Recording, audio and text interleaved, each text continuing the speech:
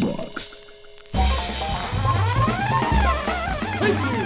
Thank you so much. hey, doll, tell me, do you know where women have the curliest hair? In Africa. No, that's not what I meant. In Africa. Oh, yeah!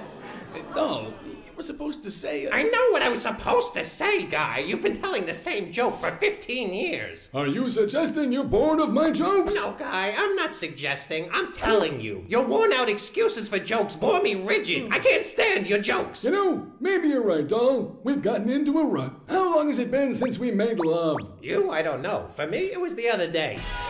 Listen, uh, why don't we try to turn our lives around completely? Two minutes later. Okay, it's a radical change, but it's not exactly what I was talking about. Well, if you want to change from the routine, this is it, Guy. Doll, how long's it been since you cut your fingernails? Welcome to my life, Guy. By the way, all these plastic things I can feel, are they ping pong balls? Uh, yeah, maybe they are. I was wearing pants without pockets and. hey, let's go back to the way it was before, doll. Just as I'm starting to get a feel for this? No way. Curtain! Curtain, please! Come, you can take your hand out now.